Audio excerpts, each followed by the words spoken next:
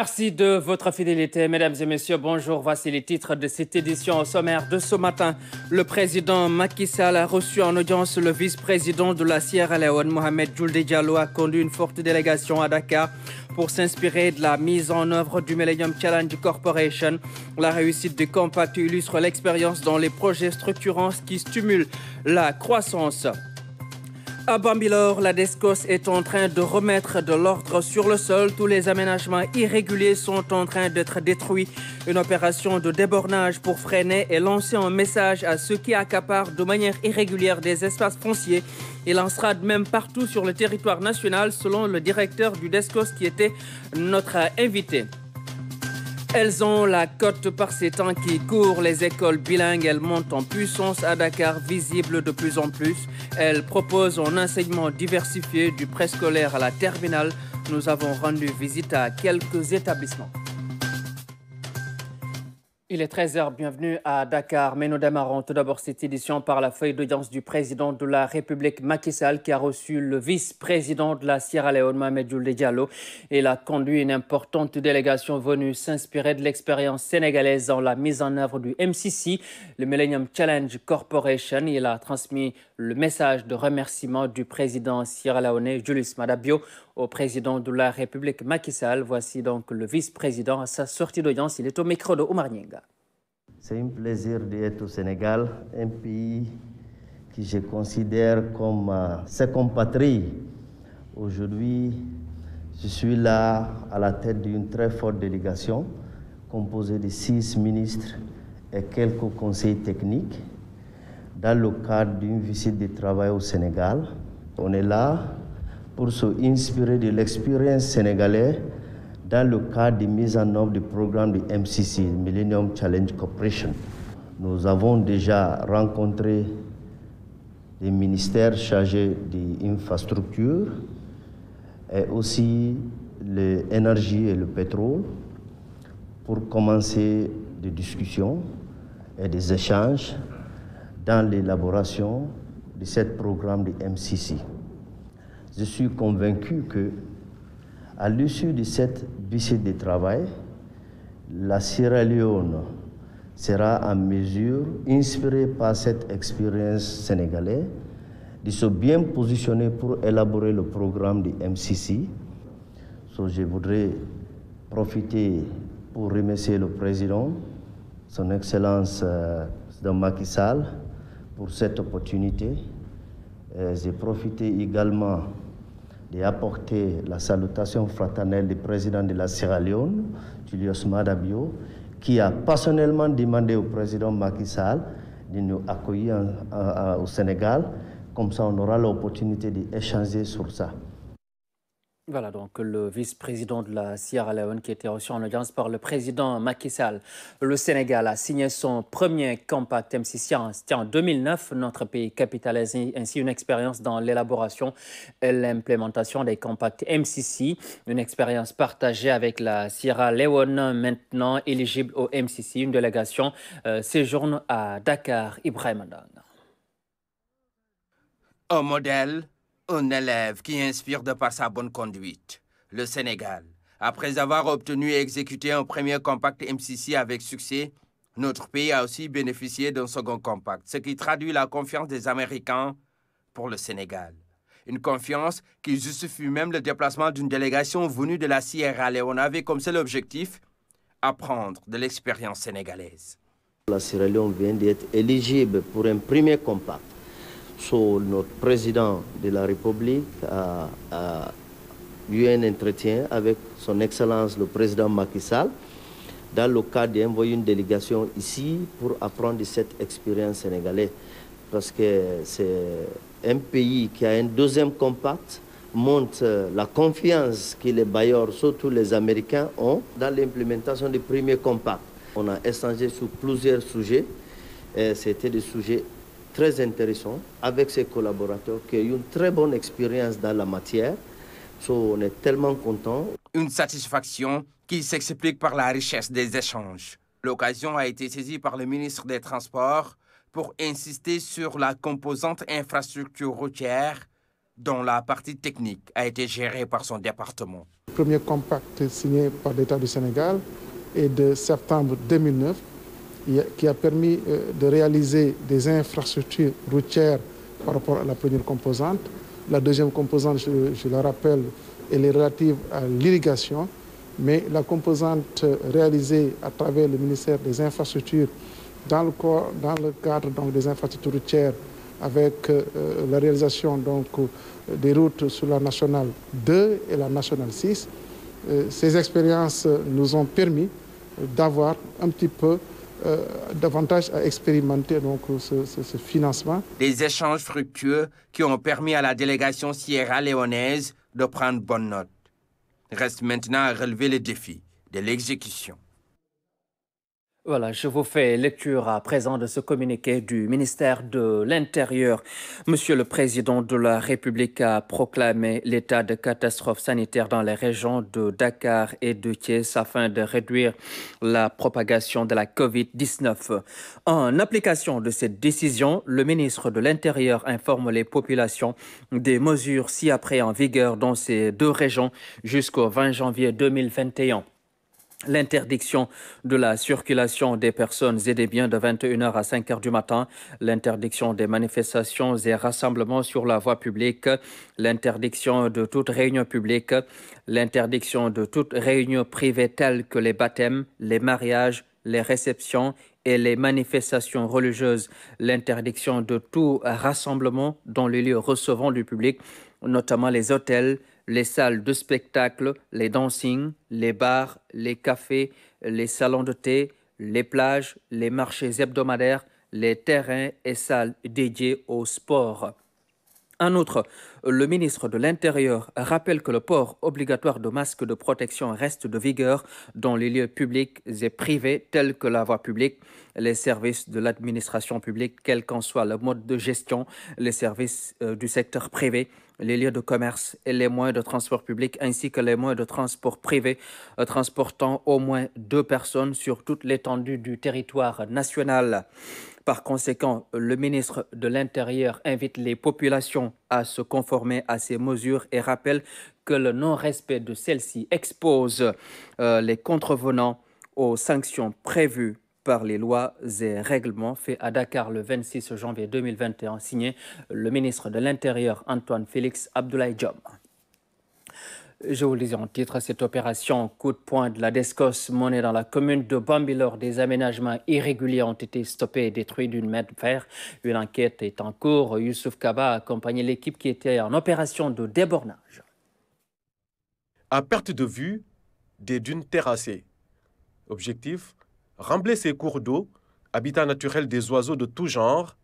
L'auteur non encore identifié opère en toute illégalité selon la DESCOS sur un titre foncier particulier. C'est dans le cadre de nos rondes traditionnelles de contrôle de l'occupation du sol qu'on s'est rendu compte qu'il y a eu un bornage qui n'est pas dans notre base de données parce que les lotissements qui sont autorisés passent à la DESCOS pour numérotation. Donc quand on a découvert ce morcellement-là, euh, on s'est rendu compte que c'est un lotissement irrégulier.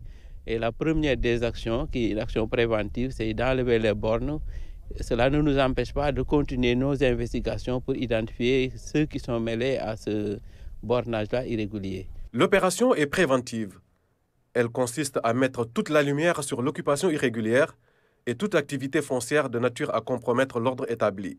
Toutes ces zones-là sont couvertes par des documents de planification urbaine majeurs, plan d'urbanisme de détail, plan directeur d'urbanisme. Et si on laisse de telles occupations prospérer, euh, les victimes, les futures victimes risquent d'être surtout nos compatriotes qui sont à l'extérieur et à qui on a l'habitude de vendre des images très belles à l'ordinateur, à l'Internet, alors que le lotissement n'est ni autorisé. L'auteur du bornage n'a pas de titre de propriété parce que c'est déjà un titre foncier privé. À partir d'un lotissement irrégulier et d'un bornage, que des Sénégalais innocents viennent mettre leur argent et qu'à l'arrivée qu'on démolisse et qu'on dise que la DESCOS euh, n'a comme activité que la démolition. Donc ça, c'est vraiment une activité préventive pour éviter à ce qu'on tombe dans cette situation-là. Cette opération se tient dans la commune de Bambilor. Cependant, la DESCOS ignore pour l'instant le niveau d'implication ou d'information des autorités vis-à-vis -vis de cette activité illicite. L'objectif, c'est que le, le, local serve de partenaire et de collaborateur euh, aux services centraux. Donc, un morcellement de cette importance-là ne peut pas se faire dans une commune sans que le maire en soit informé. De toute façon, on ne mesure pas pour le moment l'importance de sa responsabilité, mais euh, la mairie et ses services techniques sont au courant de cette implantation-là. Et leur devoir était d'alerter la DESCOS euh, pour vraiment venir intervenir à temps et éviter que le bornage en soit à ce point. Euh, en ce qui concerne certains maires, il faut reconnaître que la loi, ne, je veux dire, inhibe un peu l'action de la DESCOS parce que avec un statut de maire député, souvent aussi l'action est un peu inhibée par ces statuts-là. Et je pense que dans le cadre des réflexions de révision de certaines lois, la DESCOS aura un peu les coups de franche pour pouvoir euh, convoquer, interroger et éventuellement sanctionner tout acteur euh, dans le cadre d'une action qui va contre les directives et recommandations du Code de l'urbanisme. Cette sortie de la DESCOS montre la diversité de ses activités, dont la prévention occupe une place importante. La démolition, souvent collée à son image, constitue effectivement l'ultime recours dans le but d'établir l'ordre public. Voilà, cette opération de sécurisation a permis de freiner les constructions non conformes constatées sur le site de Bambilor où la situation a été jugée catastrophe. Nous écoutons justement le colonel Pape Sabourignay, directeur de la DESCOS. Il était notre invité hier à 20h. Souvent, ce tintamarre qu'on rencontre est simplement dû à des infracteurs, à des contrevenants qui, par irrespect total du code de l'urbanisme et des codes en vigueur, font vraiment ce qu'ils veulent et dictent leur loi. Euh, Aujourd'hui, mes services se sont rendus à Bambilor, c'est dans le cadre d'une sécurisation. Là, il faut montrer que la DESCOS a deux facettes. Le volet préventif, dans le cadre, qui rentre dans le cadre de la sensibilisation, mais également euh, le volet curatif. Si l'action de la sensibilisation euh, et également de l'information ne prospère pas, ou bien voilà, et ne donne pas son effet, je pense qu'il faut aller vers euh, ce qu'on appelle l'action curative. Cela veut dire quoi? Cela veut dire qu'il faut prendre toutes les prérogatives que la loi offre à la DESCOS pour mettre un frein à ce genre d'occupation. À Bambilor, la situation est catastrophique. Il s'agit de lotissements irréguliers qui font légion dans toute la zone, en allant du lac Rose jusqu'à Denis Gate, Denis Biramdao. Je pense qu'il faudrait qu'on fasse attention à cela. Parce que le code il est très clair, on ne peut pas entreprendre un lotissement sans en avoir l'autorisation. Autant on doit demander l'autorisation pour construire, autant l'autorisation de l'auteur est requise. Et les formalités qui sont prévues par le code de l'urbanisme, notamment la loi de 2008, quand même doivent être respectées. Euh, il est évident que vous ne pouvez pas faire cela sans une autorisation avec euh, une approbation un arrêté du ministre chargé de l'urbanisme. Et cet arrêté, une fois qu'il est servi, le projet doit être numéroté pour être publié. Et tout cela, c'est pour apporter une garantie aux futurs acquéreurs de parcelles issus de ce lotissement.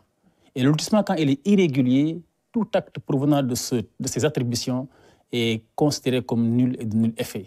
Et même le code, en son article 80, est très clair. Quiconque entreprend un lotissement de ce genre, le terrassier, l'entrepreneur, celui qui a posé les bornes, le géomètre qui a délimité, le maire et même les autorités administratives sont frappés parfois des peines pouvant aller jusqu'à 5 ans d'emprisonnement et de 20 millions d'amendes. Donc euh, cela veut dire que la loi, elle est là, elle n'est pas muette et elle doit être appliquée pour sauvegarder l'intérêt général des populations.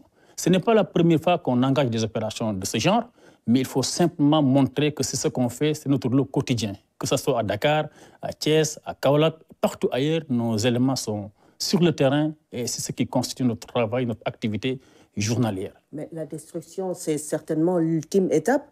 Euh, quelle est la procédure qui conduit à, cette destruction? Oui, la destruction est l'ultime étape, mais au-delà de la destruction également, il y a les peines de prison.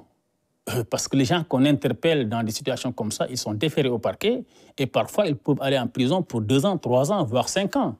Maintenant, euh, on démolit parce que la loi l'autorise. La loi recommande la démolition quand toutes les voies de recours sont épuisées. Les voies de recours, c'est quoi? Il faut sommer, alerter, sensibiliser, convoquer. Et justement, dans le cadre de, euh, de Bourg, euh, le, prenons le cas de Bourg 4 euh, extension, est-ce que les habitants ont été avertis à temps? Cela a été le cas partout. Nous sommes des agents de l'État du Sénégal, nous sommes des gendarmes doublés de qualité dossier de police judiciaire, nous sommes des auxiliaires de la justice. Il y a des choses qui sont impensables. On ne peut pas aujourd'hui, à l'ère où nous sommes, se réveiller un bon matin, aller démolir même des poulaillers sans respecter les règles et les lois de ce pays. En Bourg-4, la situation est très simple. Vous allez simplement me permettre, vous voyez la carte que vous voyez, tout ce qui est en rouge, c'est ce qu'on avait autorisé en 2006 et d'une contenance graphique d'environ 80 hectares. Malheureusement, quand le lotissement est appliqué, on s'est rendu compte que 60 hectares étaient dans la forêt classée de, de, de, de 4, de Thiès. Et qui dit forêt classée euh, fait allusion à un système particulier, un, aspect juridique auquel tout le monde est, tenu de passer d'abord à un déclassement par décret avant de pouvoir y construire. Même l'État ne peut pas utiliser la forêt classée si, le statut n'est pas changé. Et pour cela, il faut un décret qui déclasse cette partie de la forêt classée pour en faire un usage d'habitation. Le chef de l'État, quand il a fait sa tournée en 2017, en décembre, a été interpellé par les populations qui étaient attributaires d'actes administratifs venant de la collectivité territoriale, notamment la commune de Thiès. Et ces gens avaient des problèmes pour obtenir une autorisation de construire, parce qu'on ne peut pas autoriser euh, quelqu'un à s'installer dans une forêt classée. Il fallait maintenant lever ce, cet équivoque. En quoi faisant? En déclassant. Le président de la République, dans sa magnanimité, et interpellé par ces populations, avait instruit le gouverneur et l'ensemble des services techniques à déclasser une partie de cette forêt classée. Je sais que la promesse du chef de l'État, elle est toujours tenue.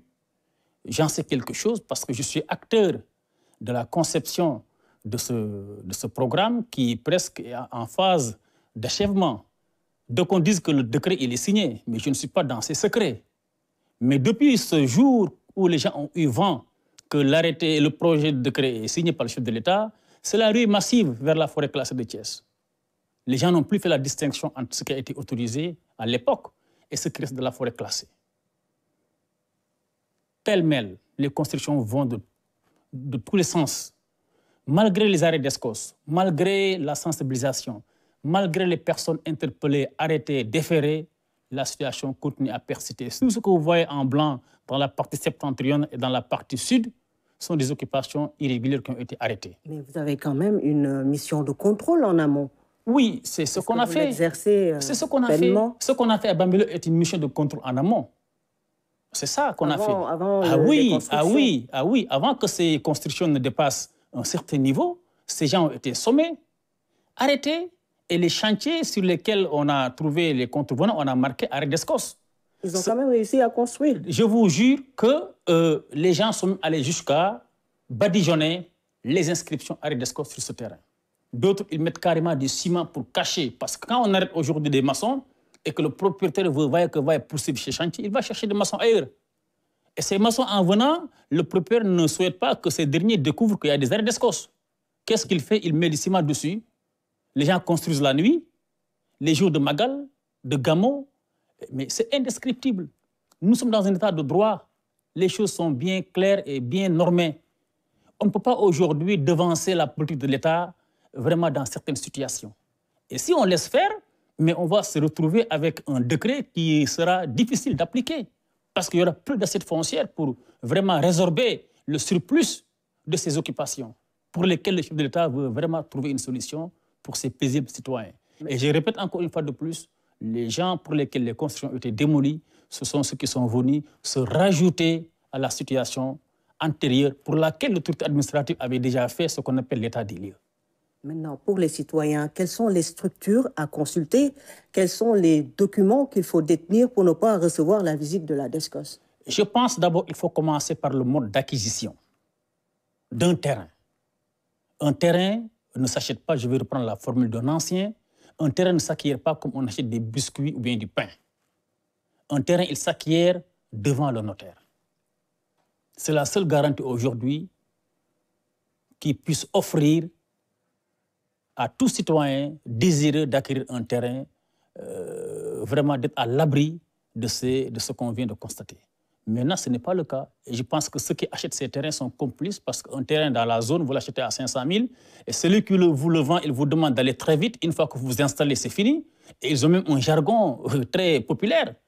Euh, construisez, dès que c'est fini, l'État est obligé de vous, de vous régulariser ou bien de vous laisser ici. Mais c'est fini ces histoires-là. On ne va plus jamais laisser quand même la place aux délinquants fonciers, aux usurpateurs fonciers, vraiment semer la pluie et le beau temps. Aujourd'hui, par exemple, on a, euh, on a pris en flagrant délit de vente de terrain, ce qui est sanctionné par le code des gens à, à Bambilor.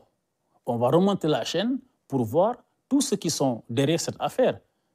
Et toute la chaîne, on va essayer de la, de la, de la, démanteler. Parce que ce n'est pas l'œuvre d'une seule personne. C'est un groupe savamment euh, euh, préparé pour commettre ces actes. Mais on va aller à la racine et tuer le mal à, dans, ses, propres racines. Et je pense qu'aujourd'hui, euh, ces situations de ce genre portent un coup dur à l'État du Sénégal dans le cadre de la planification urbaine. Aujourd'hui, les projets de 100 000 logements, certains ont, ont peine à être démarrés parce que simplement, il y a des gens qui occupent pour s'attendre à des indemnisations, à des paiements d'impôts. Les grands projets de l'État sont aujourd'hui impactés par ces délinquants fonciers qui profitent pour occuper l'espace en attendant d'être régularisés ou bien d'être indemnisés. Je pense que c'est un signal fort qu'on doit vraiment donner aux populations, surtout ceux de la diaspora. Il faut constater que ces gens sont les principales victimes de ces spéculateurs fonciers. Ils ont de l'argent, ils gagnent leur pain au jour le jour, ils n'ont pas parfois de banque où déposer leurs sous, ils sont obligés de tout rapatrier. Malheureusement, c'est de l'argent qui vole comme ça, comme, euh, parce que simplement, on a donné ça à des gens qui sont partis acheter des terrains là où ils ne pas les acheter. Et je pense qu'aujourd'hui, il faudrait qu'on soit clair et profiter également pour préciser une, une, chose qui a tendance à être vulgarisée à des fins crypto-personnelles ou bien à des fins de récupération. Il faut qu'on soit d'accord aujourd'hui que la DESCOS a deux modes de démolition. Les démolitions qui, sont, qui se font par voie judiciaire, après que le dossier a été traité en justice, et une ordonnance prononcée et qu'on assiste l'huissier de justice en charge du dossier pour procéder à l'opération. Ça, c'est le premier cas. Le deuxième cas, il est très simple. Le deuxième cas est bien régi et bien expliqué dans le Code de l'urbanisme, dans sa partie législative. En allant des articles 80 à 85, il est bien clair que quiconque construit sans droit ni titre l'autorité en charge du contrôle pour démolir et frais de l'intéressé. Et, là, c'est encore important. On est en train de faire une réflexion maintenant pour faire payer à ces contrevenants vraiment les turpitudes de leur, de leur, de, leur projet. Et mieux, quand on interroge la partie réglementaire, les articles qui vont de R374 à R378 également sont clairs. Même si le dossier est pendant en justice et que vous êtes sommé, vous n'arrêtez pas vos constructions, même si vous êtes dans votre titre foncier privé, la DESCOS, qui a fait la sommation, le titre administratif et en de la sommation, peut démolir. Je veux qu'on soit très clair. Il faut que les gens arrêtent de nous diaboliser, de nous considérer comme des hors-la-loi. Nous sommes des citoyens honnêtes et nous sommes respectueux des lois et règlements de ce pays. Voilà, donc c'était le, colonel Pape Sabouri directeur général de la DESCOS, qui intervenait sur la destruction des lotissements irréguliers à Bambilor. À Tambacounda et Kédougou, où le réseau routier a été entièrement mis aux normes, et cela grâce à un financement de 31 milliards de francs CFA du FORA, c'est le Fonds d'entretien routier autonome Pape Collingam. Depuis 2015, le FERA a eu à injecter pas moins de 31 milliards dans, dans les régions de Tambacounda et de, de Kédougou. Cet investissement énorme a permis de réaliser de grands travaux routiers dans cette partie est du pays. Ce montant nous a permis de, de mettre à niveau complètement le réseau, de faire 180 km de route revêtue en termes d'entretien lourd et tout le réseau en termes d'entretien léger. On ne peut que dire merci à l'État sénégalais. Avant, vraiment, l'état de la route, ça nous fatiguait vraiment. Ça nous causait trop de dégâts sur les, sur les matériels. À côté de ces travaux d'entretien routier, d'autres ouvrages d'importance capitale ont été également réalisés, notamment dans la commune de Tambacounda. On peut citer l'ouvrage de, de, de Kochari sur la RN1 qui a été construit sur le financement FERA en procédure d'urgence. Et nous avons également l'ouvrage de, de Maël Déby qui a été mis complètement au gabarit aussi dans le cadre du projet qui nous a permis de construire euh, l'ouvrage de Kochari. là également en procédure d'urgence. À côté, de ces deux grands ouvrages, nous avons quelques 3 à 5 ponts et ces réalisations nous ont permis de connecter les deux parties de Tambacounda. Et dans le souci de désenclaver les villages et faciliter leur interconnexion, quelques 600 km de pistes rurales sont en train d'être construits. Autant, donc c'était vraiment des lieux qui étaient inaccessibles. Donc maintenant, bon, à partir de ces travaux-là, ça a permis quand même de faciliter un peu le transport, le passage des personnes des biens. Et aussi l'accès est devenu plus facile. Dans les régions de Tambacounda et de Kédougou, le taux de réalisation est à 100% pour le réseau routier revêtu et 80% pour les pistes de production. Mais le directeur régional zone Est de l'Agir rassure qu'avec l'exécution du programme pluriannuel, tous les objectifs seront atteints. Nous restons à Tambacounda avec la réhabilitation du lycée Mamcher Mbaye donc, euh, par la Fondation Sonatel. L'établissement avait été construit donc, il y a 38 ans par Feu Djili Mbaye. Il accueille aujourd'hui près de 2500 élèves et plus d'une centaine d'enseignants. Euh, voilà les images qu'offrait le lycée Mamcher Mbaye en 2019. L'établissement scolaire menacé ruine. À l'époque, les autorités avaient envisagé même sa fermeture. Grâce à l'action de la Fondation Sonatel, le lycée a fait peau neuve. Aujourd'hui, la satisfaction des populations de Tamba est immense. Si le contexte nous l'avait permis, nous aurions souhaité exprimer cette satisfaction à l'endroit de la Fondation Sonatel par une forte mobilisation des Tambacoundois à cette cérémonie. À la place, nous n'aurions que des mots pour dire merci à la Fondation Sonatel. En m'adressant directement à la communauté éducative du lycée Mam Mbaye, pour leur dire que la balle est dans leur camp, dans notre camp, dois-je dire. Les égards que suscite notre établissement doivent nous mobiliser davantage et booster les performances et résultats de nos chers élèves. Le défi de la maintenance et de l'entretien de l'infrastructure et autres matériels mis à disposition doit être nécessairement relevé. Les travaux de réhabilitation et d'équipement du lycée Mamchermbaye ont duré quatre mois pour un montant global de 500 millions. Nous voici donc réunis aujourd'hui pour découvrir ensemble les réalisations issues de l'écoute active de la Fondation Sénatel. Et je suis heureux de voir que la Fondation a fait un geste conséquent pour accompagner l'éducation de nos enfants et contribuer à l'objectif de maintenir l'excellence et la qualité de l'enseignement dans l'un des lycées les plus réputés de notre pays. Nous espérons que cela va inspirer d'autres acteurs pour créer une chaîne de solidarité au bénéfice des populations. Lors de la réception des travaux de rénovation, le ministre de l'Éducation a salué l'engagement de la Fondation Sonatel. La Fondation Sonatel a pu, à travers un investissement estimé à 500 millions de francs CFA, permettre la réhabilitation et à l'équipement de cet établissement, mais surtout elle a contribué à perpétuer la mémoire d'un Sénégalais qui a très tôt œuvré pour l'équité territoriale.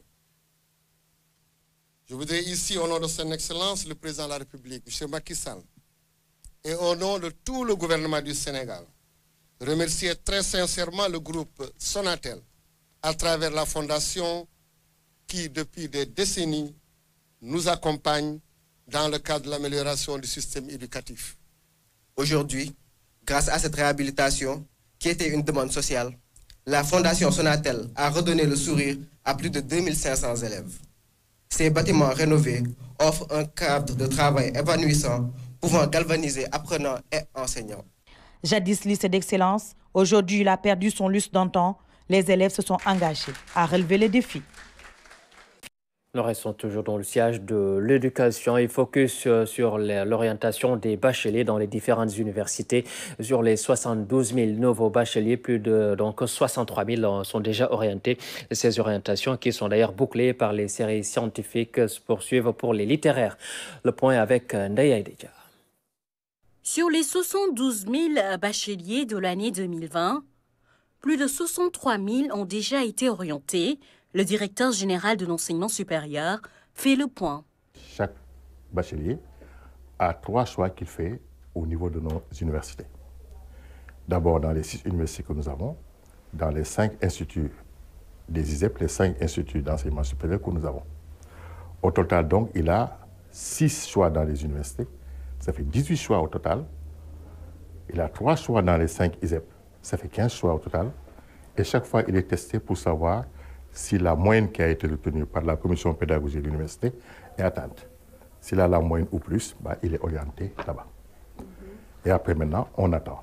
On leur donne le temps de s'inscrire, une semaine, pour aller dans les, au niveau des opérateurs euh, financiers. S'il paie, ça veut dire qu'il a validé son, son orientation. L'UCAT a le plus grand nombre de bacheliers, suivi donc de l'UGB, l'Université Gaston Berger, ainsi que du l'EADB et de l'Université d'Itches et du SIN Saloum. Et sur cette répartition, il semble que les ISEP attendent encore de recevoir le nombre d'étudiants requis.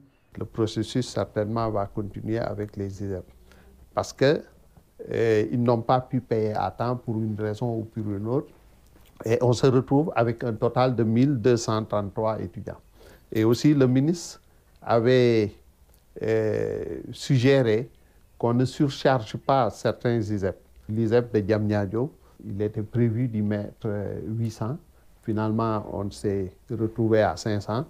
De même, les chiffres des orientations montrent que la dynamique de développement des filières scientifiques doit être poursuivie. Il y a euh, certaines filières, euh, on se retrouve avec énormément euh, de candidats, alors que le nombre de places disponibles est très réduit. Alors que dans d'autres filières, le nombre de places que les universités ont proposées sont largement supérieurs à la demande des candidats. Le directeur général de l'enseignement supérieur rappelle que certains étudiants fort clos, c'est-à-dire qui n'ont pas pu valider leur inscription à temps, ont encore un délai pour le faire. Pour rappel, l'État a encore décidé cette année d'orienter l'ensemble des étudiants dans les universités publiques ainsi que les instituts et établissements d'enseignement supérieur. Les écoles bilingues à Dakar, elles sont de plus en plus nombreuses. Ces établissements proposent des matières diverses aux élèves du préscolaire à la terminale et leur donc offrent ainsi l'opportunité d'accéder à des universités de renommée internationale établies donc à l'étranger. Le reportage de Ndeye Kumbandjaya. Dans les écoles bilingues, il y a tous les âges. C'est du préscolaire à la terminale. Ici, le programme est établi sur une vingtaine de matières depuis le bas âge ou presque la maternelle, que les enfants commencent à découvrir l'anglais.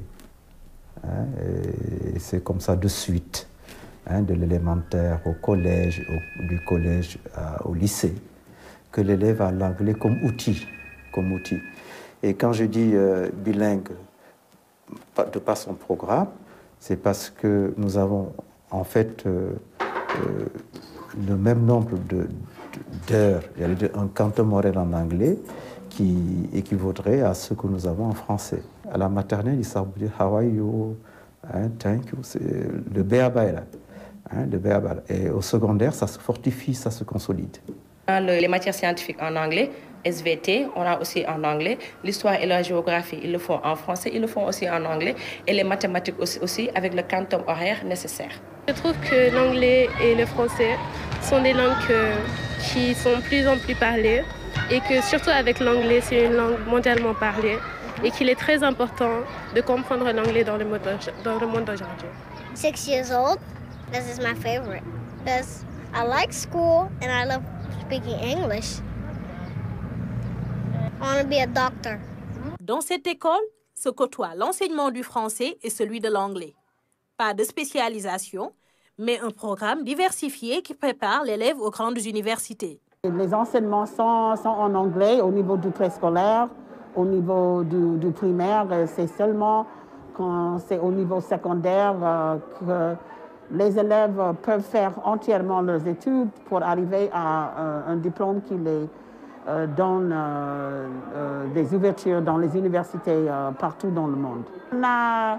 Nos élèves, en fait, ils sont partis dans plus de 200-300 différentes universités. Il y a des universités qu'on a tissé effectivement un partenariat où euh, c'est une tradition pour que nos élèves aillent dans ces universités. Mais sinon, euh, avec des universités en Chine, avec les universités au Moyen-Orient, partout aux États-Unis et, et, Canada.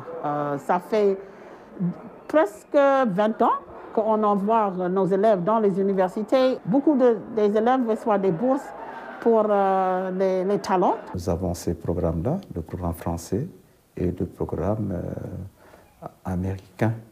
il y a un bac sénégalais.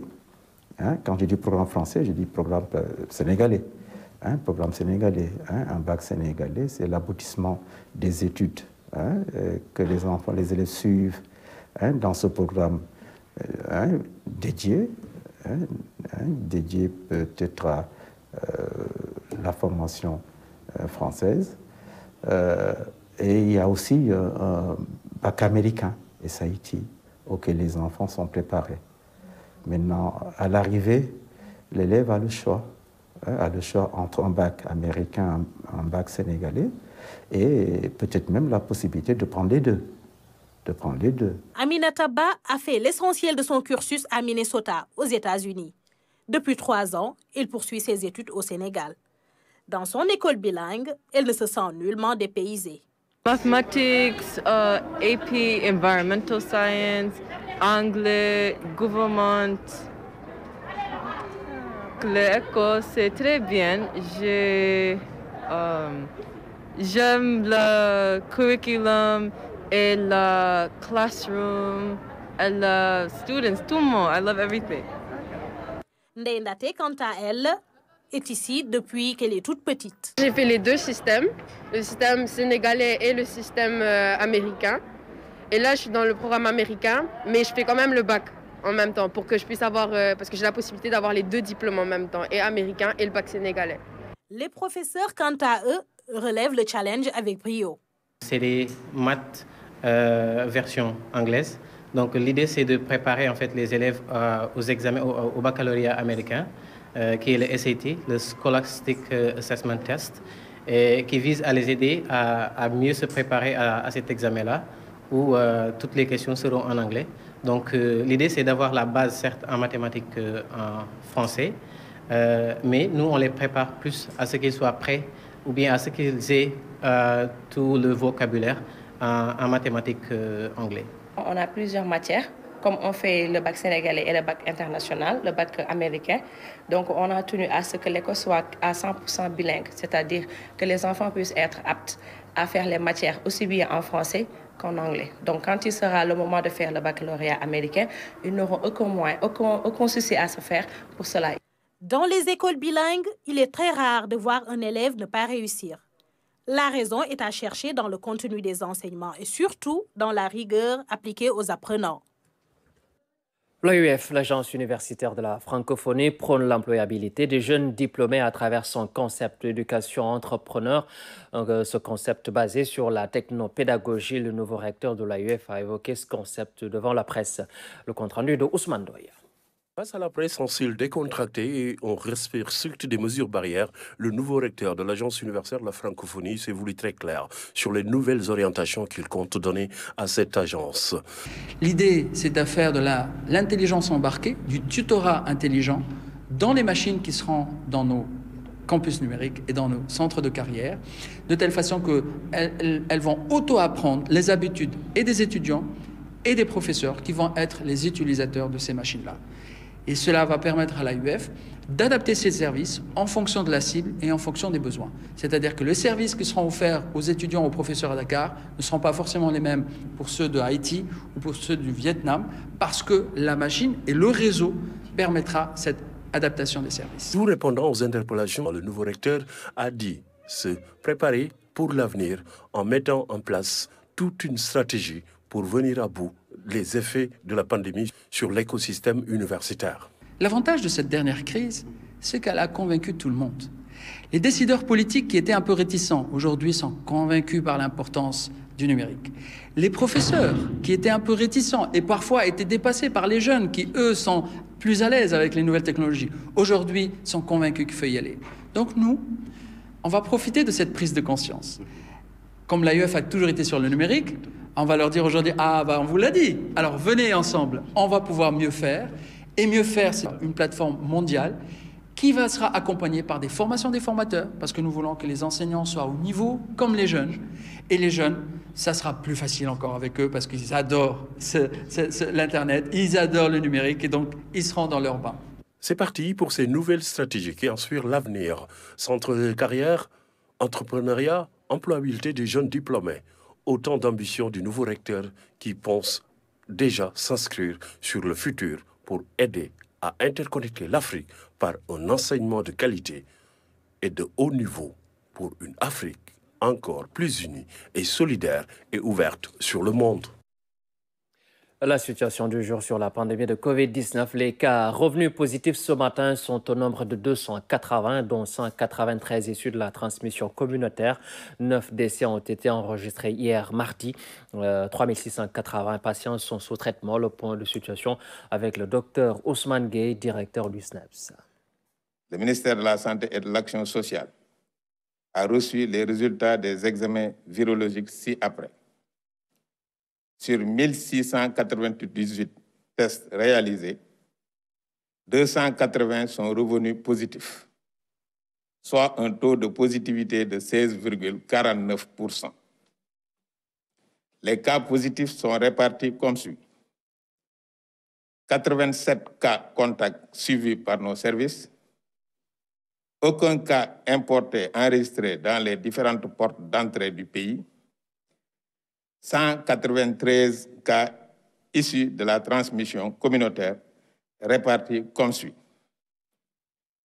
26 à Thiès, 16 à Kaolack, 10 à Wakam, 9 à Rufisque, 8 à Touba, 7 à Ouest Foire, 6 à Yoff, 5 à Tamba et Tuaon, 4 à Dakar Plateau, Hombol, Liberté 6, Mariste, Mbour et Sacré-Cœur 3, 3 à Daroumousti, Grand Dakar, Kafrine, Kermassa et Popongine, 2 à Bakel, Grand Yoff, Genguineo, HLM 6, Matam, Medina, Ngaparou, Nord Foire, Waaguñaay Parcelles Assainies Point E Sokone et Zac Mbao. 1 à Amitié Bargny Biscuiterie Cité Aliou Sow Cité Mourtada VDN Diamaguène Diamniadio Fann Fass Mbao Gorée Guédiawaye Gueule Tapée Kanel Keur Mbaye Fall Louga Malika Mamel Mékhé Ngeho, Ngor, Nyoro, Petit Pikin, Podor, Pout, Raneru, Richard Sali, Sangalkam, Saint-Louis, Sikap Baobab, Sikap Réduis, Sindia, Charoy, Yembel et Zone B. 255 patients hospitalisés ont été contrôlés négatifs et déclarés guéris. 53 cas graves sont pris en charge dans les services de réanimation. 9 décès ont été enregistrés ce mardi 26 janvier 2021. L'état de santé des autres patients hospitalisés est stable. À ce jour, 25 407 cas ont été déclarés positifs, dont 21 125 guéris, 601 décédés et 3 680 sous traitement. Le ministère de la Santé et de l'Action sociale exhorte les populations au respect strict des mesures de prévention individuelle et collective. Voilà, à toute l'équipe qui a préparé, coordonné et réalisé cette édition, un grand merci. Merci à vous tous de votre attention. Je vous souhaite de passer une très bonne journée.